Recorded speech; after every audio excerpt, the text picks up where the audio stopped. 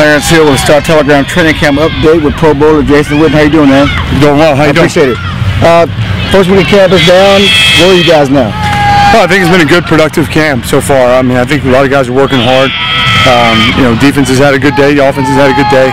We've still got a long way to go, but um, you know, we're just not settling for being mediocre. And I I think the only way you do that is the way we're working like we are today. I mean, you talked about that last year, and you guys finished eight and eight. And Yeah. it, what's the mindset? Is that it? You know, getting over the hump, getting to the playoffs, and really doing something this year. That, that, that is. I mean, I think we're all disgusted the way it's ended, and we understand that we got to execute better. I told you that before, but I I think the only way you can get to January and February is by doing it today, and uh, that's the mindset I think we've taken as a team, and see it's paying off for us. Is that what keeps you going? I mean, you've set records, and Yeah. you, you know, probably going to end up with some of the best records of any tight end in NFL history.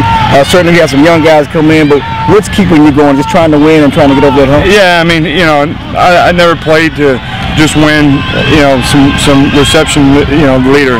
Played to win Super Bowls and compete for championships, and so that's my driving force every day when I get up, and um, you know, that's the journey, you know, and I'm, I'm thrilled to be able to do it with Tony and Demarcus and Hatcher and Miles and Dez, guys like that that come to work every day, and uh, we'll be friends for life. But hopefully, we'll have a championship together as well. You know, you and Tony have a great relationship. Talk about him and what he's coming back from. He has that same drive to Yeah. want to win, and I guess end all those questions, those doubts Yeah. about when you guys can win. Well, I think you know it's been good to see him healthy. Obviously, you, you know you felt like he was going to be back, but to actually see him out there making all the throws that he's made before is a great thing to see. And um, obviously, he's got high expectations, and um, you know I think he carries a lot of that weight and uh, understands.